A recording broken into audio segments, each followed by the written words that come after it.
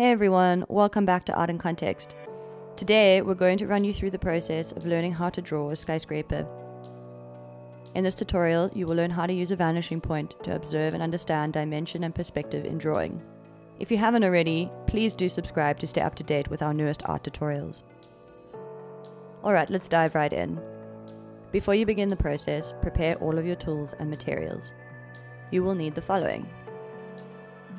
Paper of your choice. I recommend using a thicker weighted paper for this tutorial.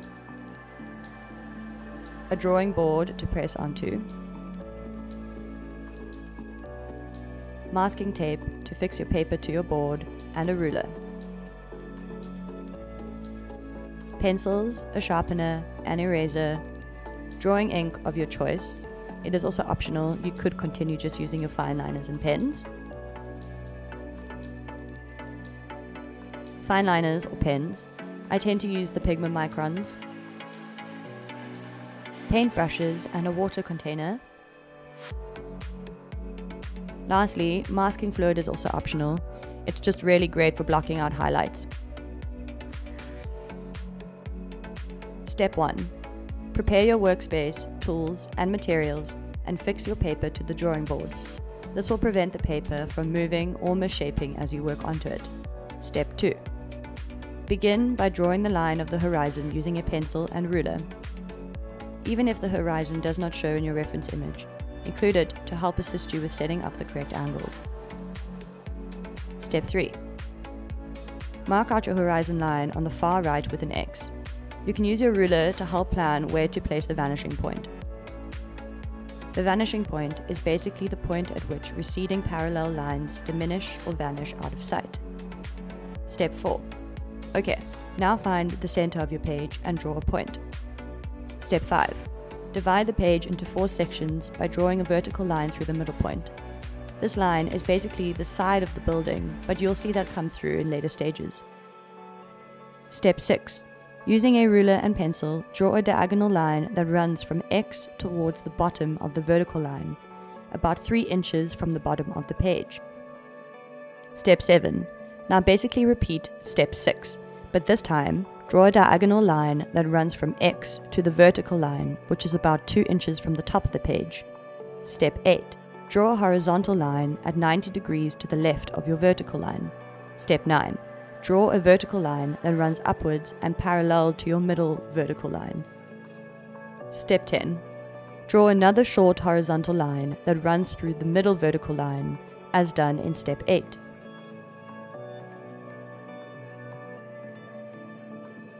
Step 11.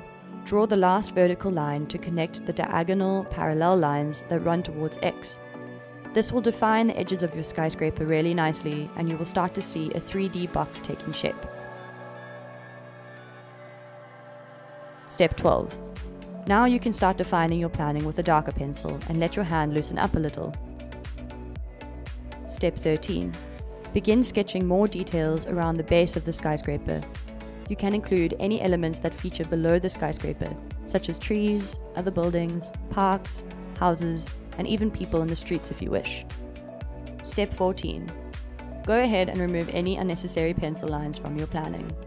Make sure to keep your vanishing point, but you can definitely remove invisible lines behind and below the skyscraper, as well as the middle vertical line that runs through the page. Step 15. Continue adding detail to the sketch with a darker pencil. Focus on really defining certain areas and include any extra building blocks that are situated on top of the skyscraper. Step 16. Using a ruler, you can start to plan and divide your skyscraper into sections according to the number of floors that are featured in the building. If you are unsure, simply make up an even number and split the floor into these sections. Step 17. Draw in the horizon lines that run through these mark points to define the floor levels.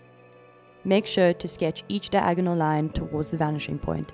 This is really important if you want to create realistic dimensions and proportions. Step 18. Go ahead and sketch in more detail.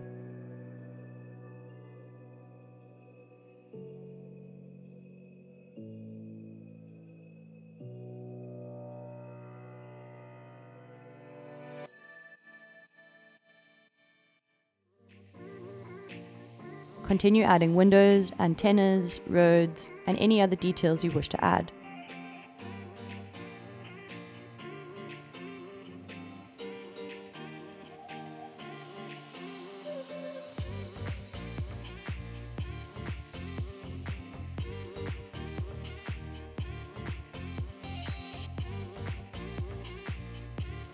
Then you can erase your vanishing point.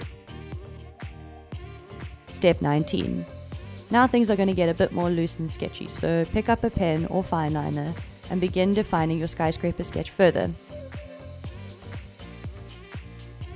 Work from left to right or however you wish. Draw over all elements and details that you have planned in pencil.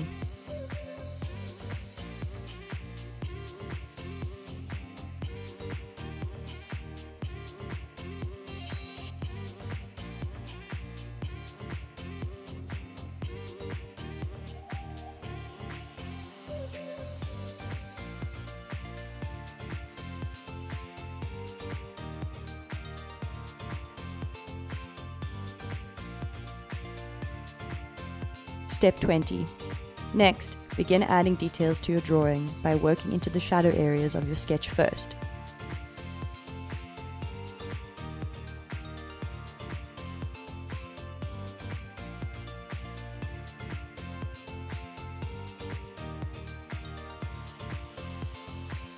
Now that we're nearing the end of the sketch, it is important to be aware of the balance of composition. Step 21. Pick up your fine liners again and continue adding the last details to your skyscraper drawing. Add texture to the brickwork using hatching and pointillism techniques to create subtle shadows. Skyscrapers are also often made of a lot of glass, so make sure to leave space for more highlights than shadows. Step 22. Lastly, allow your artwork to dry fully. Sign once it's complete and admire your creation. Thanks again for joining us at Art in Context to learn how to draw a skyscraper. We really hope you enjoyed this one, and please do let us know what you thought in the comments. If you would like to read this full article in more depth, hit the link below and head over to the Art in Context website. Don't forget to subscribe to stay up to date with our newest articles and tutorials.